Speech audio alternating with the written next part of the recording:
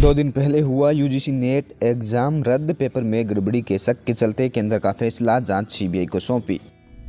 पच्चीस से राजस्थान में बरसेगा मानसून, पूर्वी राजस्थान में हीट वेव पारा चौवालीस डिग्री पर, पंद्रह शहरों में पाँच दिन बारिश का येलो अलर्ट चौदह खरीफ फ़सलों का न्यूनतम समर्थन मूल्य बढ़ाया। धान की एमएसपी एक सौ सत्रह रुपये बढ़ाकर तेईस सौ की तुअर दाल में पाँच सौ पचास रुपये का इजाफा।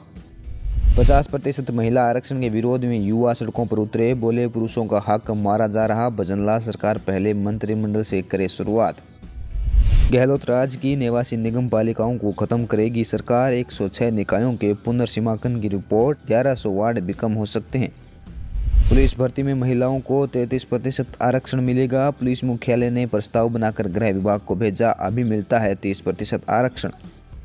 न्यू शांगाने रोड से 26 जून को जेडी हटाएगा अवैध निर्माण। 600 से ज़्यादा अतिक्रमणियों को जारी हुए नोटिस, निर्माण हटाने के लिए दिया पाँच दिन का वक्त। राजस्थान को सौर ऊर्जा उत्पादन में सिरमौर बनाएँगे। ऊर्जा मंत्री हीरालाल नागर बोले, सुचारू बिजली आपूर्ति की दिशा में काम कर रही सरकार।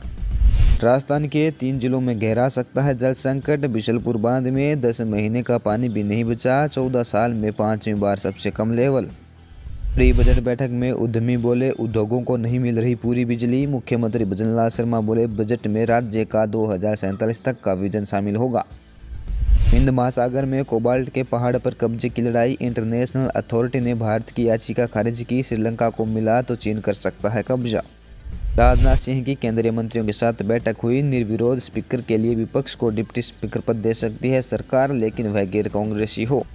केजरीवाल की न्यायिक हिरासत तीन जुलाई तक बढ़ी दिल्ली सीएम के वकील ने कोर्ट में कहा, ईडी के पास कस्टडी बढ़ाने का कोई आधार नहीं। पीएम बोले, किताबें भले जल जाएँ, ज्ञान नहीं मिलता, नालंदा सिर्फ़ नाम नहीं, पहचान है, एक सम्मान है। यूनिवर्सिटी के नए कैंपस का किया उद्घाटन।